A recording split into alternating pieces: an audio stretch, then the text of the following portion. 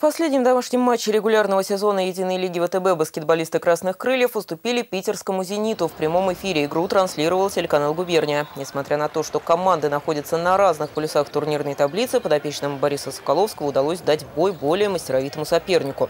На равных отыграв весь матч, «Красные крылья» только за несколько секунд до финальной сирены позволили «Зениту» выдохнуть с облегчением 84-86. Завершат чемпионат «Красные крылья» 26 апреля в Красноярске в встречей с местным Енисеем. Сезон сложный, безусловно, для нас был. Постоянно перемена состава, травмы, то есть постоянно пытались найти свою игру. В целом считаю, что как бы наше место, то, что в турнирной таблице, оно ну, не по заслугам.